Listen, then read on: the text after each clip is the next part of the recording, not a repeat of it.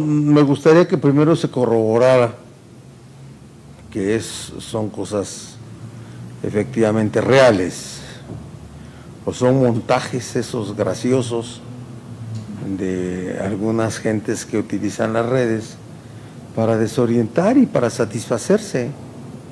Sí, ya, ya lo instruimos desde ayer de que todas esas cosas se corroboren para tener una opinión sobre ellas. No voy a opinar sobre un hecho incierto que circula en redes. Imagínense, ya los cárteles nacionales promoviéndose con, con, este, con imágenes comerciales. No manchen. Hay que ser serios. ¿Sí? Y el otro tema sí, este, son hechos ocurridos el día de ayer, bueno, que ya ocurrieron y algunas gentes se excedieron y bueno, ahí está la ley que se tendrá que aplicar. Punto, nada más.